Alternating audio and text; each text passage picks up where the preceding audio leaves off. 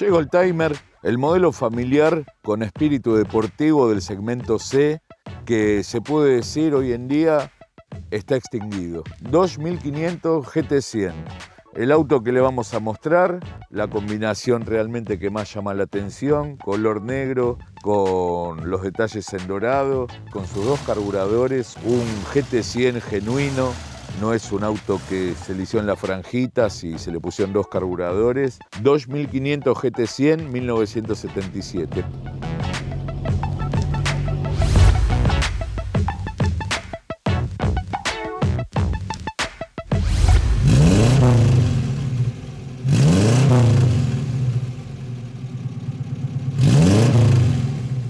Ya con el segmento de los grandes o segmento F renovados, Chrysler a partir de 1970 veía de qué manera iba a incursionar en el segmento C. Buscaba meterse en la lucha de lo que era el segmento donde iba realmente a presentarse una puja muy importante entre todas las marcas prácticamente que estaban produciendo autos en la Argentina. Es así que toman la decisión de tomar como base el Hillman Avenger inglés, que lo producía la Chrysler Europa, digamos, y un auto moderno estéticamente, con una mecánica realmente tradicional, muy a la inglesa. Es así que Chrysler arranca con el proyecto y se puede decir que rápidamente el auto se adapta para nuestro país, lo que ellos consideraban del gusto del argentino y a los caminos de nuestro país y prácticamente en un año es que ya tenía las primeras unidades con los toques para Argentina y para ver cómo el auto se desempeñaba en las pruebas internas de fábrica en los caminos autóctonos. Es así que para 1971 los más entrados en años recordarán las fotos espías de la revista Corsa que hacía como que tenían acceso a información privilegiada y tenían fotos sacadas de manera clandestina y se empezaba a ver lo que era la nueva versión del 2500. El mismo, ya para mediados de 1971, en el campo de golf de Palermo se presentaba una versión inicial, no había variables. A los pocos meses sí llegaba el SPL, que era una versión especial, que traía algunos aditamentos que no se ofrecían de manera original en la versión de entrada de gama o que eran opcionales. Ya en el SPL el auto se lo veía un poco más equipado. Ya al poco tiempo el auto sigue como en una evolución, el auto tuvo buena aceptación y es que para el año 1973, más allá de seguir agregándole algunos aditamentos, como era el servo freno, que no lo traía hasta ese momento, se le ponía empeño en ver de qué manera irlo desarrollando permanentemente. Es así que para el año, antes que finalice 1973, se empezaban a ver las primeras unidades de lo que era el primer 2500 de carácter o con espíritu deportivo, como era el GT90. El GT90, un auto que tenía el motor 1500 con dos carburadores Stromberg, es decir, con algunas similitudes como tiene el GT100 que le vamos a describir en unos minutos, y que sin dudas el auto pasaba a conformar una gama de productos que se iba enriqueciendo. Y durante el año 74 llegaba el SPL con caja automática equipado con una caja Wagner, funcionaba bien para lo que era el estilo del auto y pionero en el segmento sin ningún tipo de lugar a dudas, Chrysler, en lo que era caja automática, tanto en el segmento F con su coronado como en el segmento C con el 2500. El auto seguía caminando un camino exitoso y es que para el año fines del 75, en el Hostal del Ciervo, se presenta lo que era la nueva edición del 2500, pero con motor 1,8. Iba en búsqueda de aquel usuario que le parecía que el 1500 estaba un poquito corto de potencia. Sus rivales, los segmentos, se armaban de otra manera que en la actualidad. Un 2500 quizás lo involucraban con un Peugeot 504 de motor más grande, con un 128, con un motor algo más pequeño, con un Renault 12, luego hasta con un Taunus, y que realmente los usuarios iban viendo las particularidades de cada modelo. Es así que a partir del lanzamiento del motor 1,8 es cuando finaliza la producción del GT90. Poco tiempo después, para 1977, ahí sí llegaba el emblema de lo que era el 2500 en tema de potenciación. Llegaba el 2500 GT100 presentado en el Hotel Sheraton, realmente un auto que tuvo un buen suceso al momento de su lanzamiento, venía a meterse en ese segmento tan peleado de lo que eran los autos potenciados de mediados de los 70, con prestaciones realmente distintas a lo que tenía acostumbrados sus usuarios el 2500. En el caso del GT100, como que buscaron algo más tranquilo, pero que se identificara rápidamente el modelo por sus filetes, en un principio azul o negro, luego se veía también en naranja, un GT100 prominente en el guardabarro trasero que dejaba las claras frente a qué versión estábamos, un interior realmente muy muy lindo, exquisito de diseño, las butacas altas que Chrysler había puesto en su 2501,8. Para el periodismo especializado, medio que presentaba debate el tema de su nombre. Si es 1800, pues se llama 1500. Y bueno, Chrysler hablaba de que la base del modelo y el nombre del auto era 2500 como se lo identificaba y el tema del 1008 solo era la mención de la cilindrada que podía llegar a tener el vehículo. El auto, como dijimos,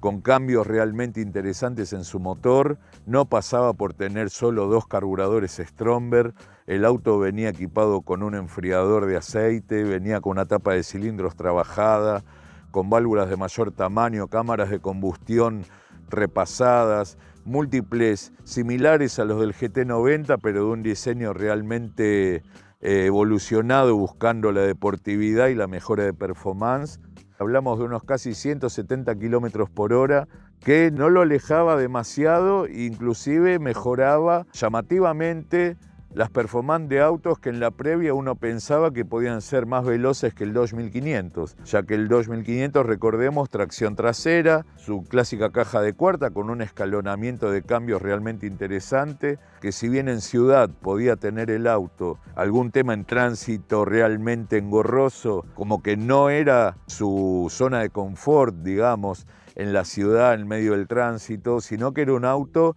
que a partir de las 3.500 vueltas era cuando realmente se veía su poderío de la aceleración que tenía el auto, cómo respondía. Quizá el agua o el barro no eran su lugar ideal. Algunos hablan de por el tamaño de sus neumáticos. La suspensión no era mala, pero indudablemente el auto tenía un lugar que donde realmente, como se dice vulgarmente, se alineaban los planetas y era la muestra de desempeño y sentir que realmente uno estaba a bordo de un auto de casi 105 caballos, a diferencia de las versiones más estándar. En lo que refiere a su diseño, el auto realmente agradable, con sus ópticas pequeñas, pero no por eso carecía de buena iluminación, para golpe estéticamente que le caían muy bien, los tacos de goma haciendo de defensa, la parrilla, una parrilla en plástico, que en el caso de la versión sedán se podía ver en color gris, como dándole un cambio de tonalidad frente a lo que era el color del auto, pero en el caso del GT100, el negro se adueñaba de todo lo que eran accesorios para darle esa impronta de deportividad y de carácter. El capó, un capó plano solo con este matrizado, pero en el caso del GT100 con este doble filete que le marcaba la diferencia. Ya al ver el fileteado, los más, digamos, avesados en, el modelo sabían que se trataba de la versión deportiva. Pequeño logo 1,8 en la parrilla, también anunciando que era el motor más grande que podía ofrecer Chrysler en el 1500. Y ya después en su lateral, el diseño realmente tan particular, en el segmento único, algunos lo veían similar al Chevy, es cierto, esa cola que caía y parecía un pequeño Chevy que se había lanzado hacía un par de años antes de lo que fue el Dodge 1500. Después su lateral, un lateral también agradable. La butaca como que siempre tuvo la particularidad de quedar un poco baja,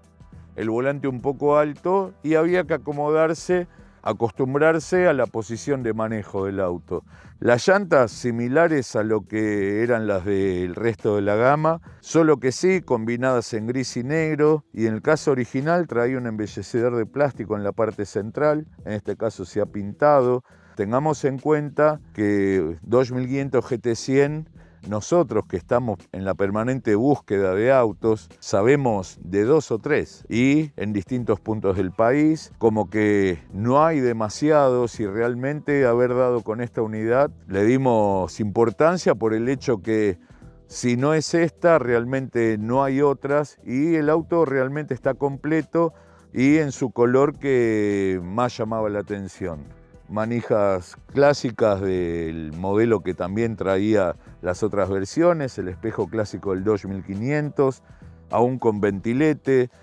Esta serie iba a llegar hasta inicios del 78, donde cambiaba la línea y, finalizaba la producción del GT100. El auto a ciencias ciertas, no hay datos de cuántas unidades hicieron, ya que por eh, ADEFA se habla de Dodge 1500 en general, sedanes. En la chapabina había algún tipo de indicio, como un código doble cero en el que se podía llegar a saber si el auto era GT100 genuino o no, pero en los datos globales como que no especificaba cuántos eran 1500, cuántos eran 1800 o cuántos eran GT100. Siempre se supo que el volumen fue bajísimo, muchos realmente se extinguieron debido al estilo de uso de sus propietarios. En lo que refiere a logos e insignias, las clásicas motor 1,8, la tradicional industria argentina que colocaba Chrysler en todos sus modelos. Notarán, como en el resto de los modelos Chrysler, en el 2500 también incluía lo que era el CPC, que era el control de paso de combustible, un elemento, si se quiere, exclusivo de la marca, que anunciaba que se estaba acelerando de manera excesiva e inútil, digamos, como que se estaba generando un consumo innecesario, a menos que uno fuera a fondo y realmente se iba a prender la lucecita del lado izquierdo, ya que también servían como testigo de luz de giro para ambos lados, y en el caso de salir de un semáforo, acelerar demasiado, se iba a prender. Después, bueno, limpia parabrisas de buen barrido, de buen área, lo que son los lavaparabrisas realmente muy bien disimulados entre medio de lo que era la reja de la bajada del parabrisa que servía como desagüe y como entrada de viento al habitáculo. Un auto que supo tener eh, buenos números de venta, supo ser el caballito de batalla en su versión estándar para Chrysler, pero que cada una de las versiones sirvió como aporte para que el auto realmente eh, durara esos 10 años bajo la mano casi de Chrysler y ya luego unos 7, 8 años más de la mano de Volkswagen Argentina.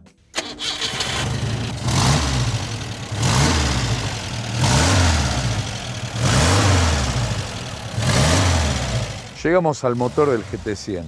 Se hacía muy visible uno de los motivos del incremento de potencia, por donde venía, como eran los dos carburadores Stromberg horizontales, carburadores que tenían su prestación, no eran para cualquier carburista, es decir, el hecho de ponerlos bien finos a punto no era una tarea fácil, con el uso intenso podían variar lo que era su puesta a punto, pero que realmente era una de las claves de por qué el GT100 pasaba los 100 caballos de potencia reales. Luego, como dijimos, la tapa de cilindro tenía un trabajo también muy, muy este, esmerado, como que el coche pasaba de sus 75 caballos a más de 100 y eso hablaba del trabajo que tenía el mismo, ya que no es que se ponía otro motor o como en el caso quizás del Renault Alpine, se sacaba la tapa del cilindro y se ponía otra y que realmente ahí estaba la clave. El 2500 se trabajaba sobre la misma base, con los dos Stromberg, y realmente el auto cambiaba radicalmente su comportamiento. Servofreno, doble circuito de freno, distribuidor siempre bien a mano de lo que era el bloque de motor, es decir, un auto que se podía trabajar perfectamente bien, no había periféricos por aquella época como podía ser aire acondicionado, dirección hidráulica, sino que en este caso era carburador, distribuidor, arranque, sistema de encendido, bomba de agua, que también estaba muy accesible, y en el caso de los GT100 en la parte baja también podía estar lo que era el enfriador de aceite. Después batería, lo que son las torretas de suspensión, el sistema MacPherson, el portafusibles sobre el parallamas, el reservorio de agua para los lavaparabrisas, simpleza, sencillez y nada que fuera en detrimento de la entrega de potencia del auto. En lo que es a datos, motor de 1798 centímetros cúbicos, 86,1 por 77,2 de diámetro por carrera, una relación de compresión de 8,9 a 1. El auto, el dato que para muchos genera alguna confusión es sobre su potencia. Chrysler declaraba 105 CB DIN y 120 HP SAE. Sabemos que entre las dos lecturas de potencia hay una variación y algunos no la tienen en cuenta y se confunden como que el auto tiene 105 o 120. No, el auto eh, al estilo de medición es la potencia declarada y real que tenía. Después, el consumo del auto a 80 km por hora, 12 km por litro a 120 km por hora, 9 km y medio por litro y a 140 unos 7 km por litro. Es decir, el consumo en ciudad realmente no era bueno, el auto consumía bastante, pero no era para lo que había concebido el auto, si bien era un auto que se podía usar como un auto normal, pero estaba orientado para lo que era un uso más de ruta, un auto más de otro estilo de eh, caminos largos que uno podía llegar a poner la cuarta y disfrutarlo de otra manera. En lo que es desempeño, velocidad máxima 170 km por hora con un 0 a 100 de 11,5 segundos, todos datos otorgados por el fabricante. Suspensión delantera del tipo independiente MacPherson con espiral amortiguador y barra antirrolido. Y la trasera, eje rígido clásico pero con resortes y amortiguadores y las barras reactoras que le daban ese plus a la hora de andar y de un agarre mejor que si tuviera eh, dos paquetes de elásticos. En lo que refiere a dimensiones, el 2500 tenía un largo de 4 metros 14, 1 metro 58 de ancho y 1 metro 35 de alto. Un tanque de nafta de 45 litros, diferencial Dana 30 con una relación de 3,73 a 1, neumático 165 SR13,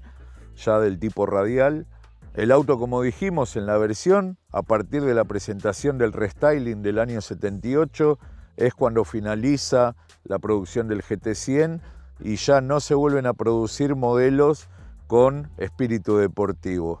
Trajimos un dato que no lo generamos nosotros, lo digo por el hecho de que en todo lo que es vehículos con alma deportiva siempre generan algún tipo de discusión sobre si realmente los valores eran los ciertos, entonces nos remitimos a lo que era la documentación fehaciente. Revista Corsa, que publicaba en uno de sus números las prestaciones de todos y cada uno de los cinco ejemplares con espíritu deportivo. 2500 GT100 hablaba de una velocidad final de 169,8 km por hora, un 0 a 100 de 11,5 segundos y un 0 a 1000 metros de 33,6 segundos. Fiat 125 potenciado con el recordado Viálvero, 170 km, 6, un 0 a 100 de 11,2 segundos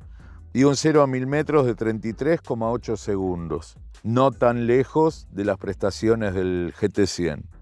Peugeot 504 TN, motor 2 litros. Velocidad final, 171,4 kilómetros de velocidad final. 0 a 100 kilómetros por hora, 12,3 segundos. Y 0 a 1000 metros en 32,7 segundos. Renault 12 Alpine, con sus 1400 centímetros cúbicos, se hablaba de 171,5 kilómetros por hora de velocidad final, hasta el momento el más veloz 0 a 100 kilómetros en 11,1 segundos, también el más veloz, y de 0 a 1000 metros 32,9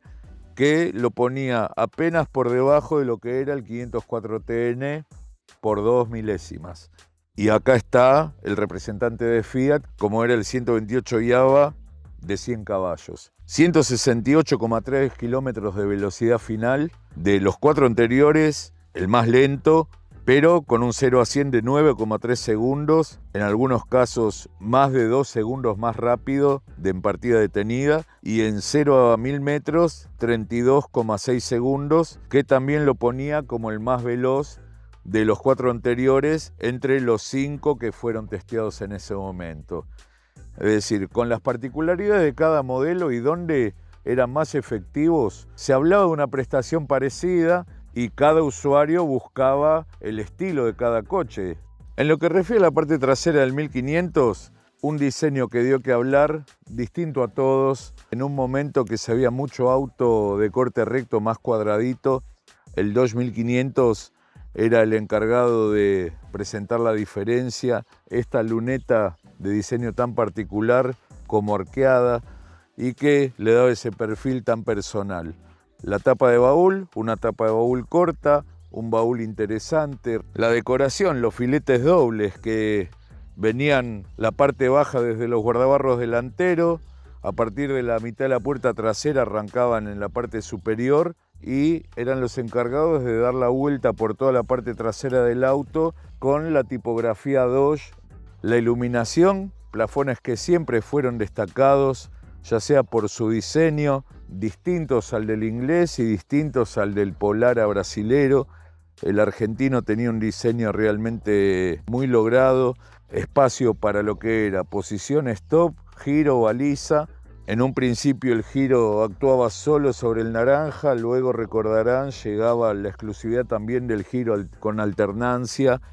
que iba y venía del rojo al naranja, la boca de carga de combustible,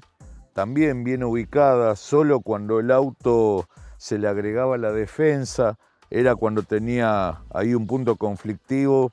pero como el auto se entregaba del concesionario, no había ningún tipo de problema, tanque de 45 litros que realmente era suficiente como para cubrir distancias promedio.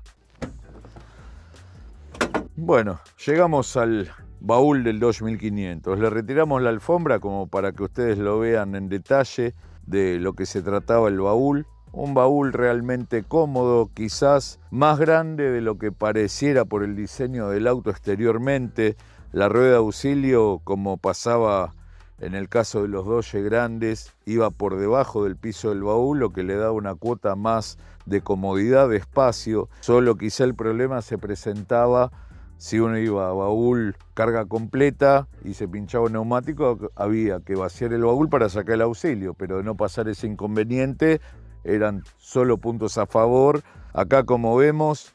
espacioso, profundo, si bien en desnivel la cola ya que iba bajando su diseño, pero se podían cargar valijas y bolsos sin ningún tipo de inconvenientes.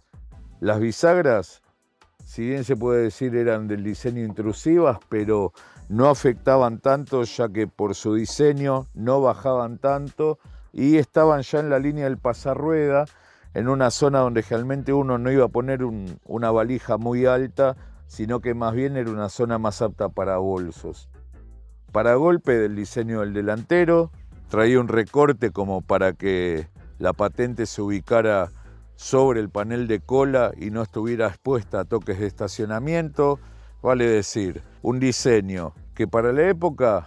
presentaba seguidores y detractores por lo distinto que era, pero que a lo largo de la producción el Dodge 1500 se supo ganar un lugar muy importante y sin duda fue el buque insignia frente a todos los autos de gran porte que tenía Dodge, el 1500, fue el que sin dudas se encargó de, si se quiere, asegurar las finanzas de Chrysler Febre Argentina.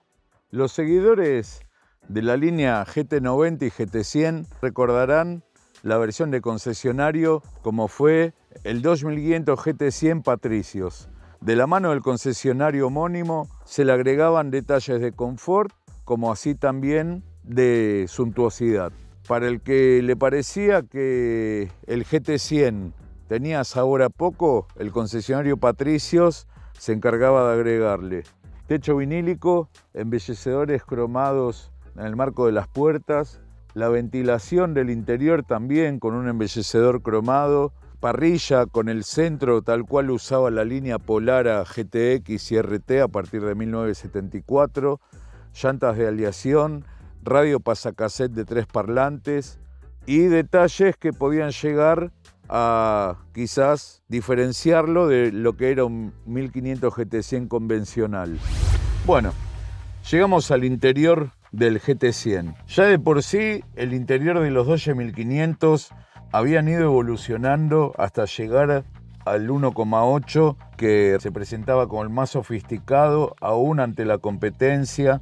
con estas butacas altas que tenían la función del apoyacabezas integrado, una pana terciopelada realmente de primerísima calidad, la clásica bocha o pomo de la palanca de cambios que Acá, al tener la cofia, no se llega a ver bien, pero era la característica de ver cómo la palanca inclinada yendo como para el lado del conductor y el pomo, cómo buscaba dejarla en posición recta, como que se generaba ese ángulo entre la palanca y el pomo ya de manera original.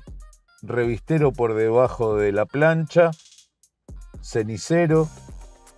la radio, la Dodge Transaudio, característica en toda la línea Dodge, todo lo que es iluminación, reóstato de tablero, ventilador. Recordemos que para estos años de serie estos autos no traían aire acondicionado, encendedor, comandos de aireación, aire frío, aire caliente y por donde uno quería que saliera. La guantera, una guantera eh, cómoda dentro de todo para llevarlo elemental. Servía la misma con llave y e iluminación. Volante, un volante Sandrini, exclusivo para la versión. Recordemos que para los motores 1800, pero no GT100, para el año 77 venían dotados de un volante realmente muy bonito de diseño estilo Dodge Dart con el Dodge en letra cursiva que realmente le caía muy bien, pero era un toque más de elegancia que de deportividad. Y es por eso que Chrysler para el GT100 optó un volante del estilo deportivo. Los logos viejos de Chrysler, tanto el Pentastar como el logo de Dodge en el centro del volante. Las particularidades, tambor de arranque de seguridad, tenía por debajo una traba que hacía que el tambor tuviera un punto más y así poder retirar la llave. Si no, la llave quedaba fija, no se podía sacar. Venía iluminado el tambor de la llave, la baliza venía también montado en la columna de dirección. El limpia parabrisas, uno de los puntos también sobresalientes de la línea 2, era esa posibilidad de tener velocidad gradual, cual fuera un potenciómetro en el comando limpia parabrisas no lo vamos a prender por el hecho del vidrio está limpio y seco. Luz de giro sobre el lado izquierdo de la columna, guiñada de luces. El cambio de luces se hacía mediante el botón clásico en el piso. Es decir, detalles que realmente lo hacían diferente al resto. Instrumental, en el caso del GT100, todos los sectores tenían una función vale decir, cuatro esferas, la primera esfera con dos agujas, como era, cantidad de combustible en el tanque, carga del alternador, la segunda esfera cuenta vueltas, zona roja a partir de las 5500 vueltas, recordemos que el auto aparecía en todo su esplendor a partir de las 3700 vueltas en adelante, velocímetro, odómetro parcial y total, escala 200 km por hora, correcta, no, es, no exagerada, basándonos en que el auto declaraba dos, unos 170 kilómetros y así confirmado por los periodistas de época cuando le realizaron los test. Y la última esfera con temperatura de motor y presión de aceite con aguja, algo realmente muy importante y no muy visto en el resto de los competidores. Después una plancha elegante, esta plancha se vería renovada a partir de 1978, un año después de la salida de este auto, cuando sale el restyling exterior y exterior, que llegaría hasta el final de su producción al momento que Volkswagen compraba el paquete accionario de Chrysler en nuestro país. Después, por detrás de la palanca de cambios, una consola pequeña albergaba lo que era la palanca del freno de mano, bien ubicada, buen tacto, alfombra de buclé, todo el piso revestido con un cubre alfombra, en este caso original, del auto. Los más memoriosos Recordarán en una alfombra muy vista, Chrysler lo utilizó mucho, el Penta Star también, muy característico, la pedalera, que era una pedalera cómoda, pero los periodistas especializados se quejaban que era una, pedalera más para uso familiar que deportivo, que no daba la posibilidad de hacer punta y taco de manera fácil o espontánea, pero que así todo el auto se podía usar bien. El acelerador era colgante, no el estilo tablita murado al piso, lo que lo hacía un poco más cómodo, no había que tener el pie tan inclinado. La dimensión de los pedales correcta, la separación correcta, es decir, uno al auto, al sentarse, los que tuvieron 2500 recordarán las particularidades de un techo bajo, una butaca también baja, una columna quizás también un poquito alta, en este caso con un volante pequeño, y la cintura del auto un poco alta, como que uno tenía que acomodarse, pero se lograba una posición de manejo aceptable para viajes largos. Cinturones de seguridad en el caso del GT100 de tres puntas, punto a favor, que tampoco eran muy vistos, generalmente eran los de cintura nada más. El dueño gentilmente nos acercó la publicidad con la que se comercializaba en general el Dodge 1500 GT100, esa manada de caballos lanzados realmente lograda, dando a entender de manera clara frente a qué estilo de auto uno estaba. Todo el speech, como eh, bien decía la publicidad, 1500 GT100, más de 100 caballos, dómelos, a un valor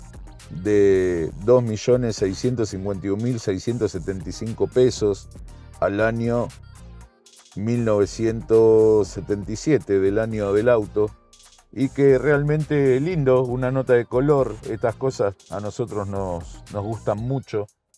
Bueno, nos queda por mostrarle los parasoles del tipo inyectados, una cuerina lisa en el techo blanca,